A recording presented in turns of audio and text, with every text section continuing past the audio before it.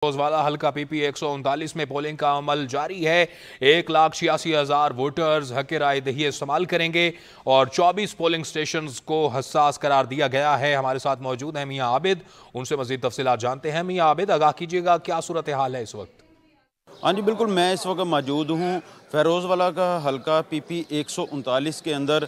और यहाँ पे जो ज़मनी इलेक्शन 21 अप्रैल का जो दंगल है, वो सच चुका है और पहला वोट कास्ट कर दिया गया है।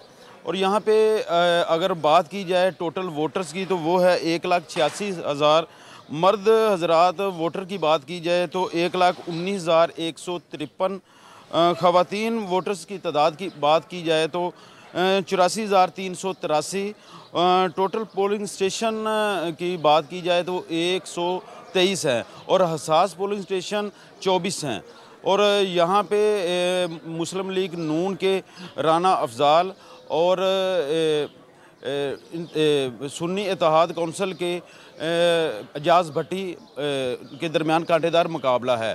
और यहाँ पे अगर सिक्योरिटी की बात की जाए तो पुलिस की तरफ़ से फुल प्रूफ सिक्योरिटी का इंतज़ाम किया गया है और ना कुछ गवार वाक़े से निपटने के लिए यहाँ पे पाक फौज रेंजर आपने अपडेट किया बहुत शुक्रिया।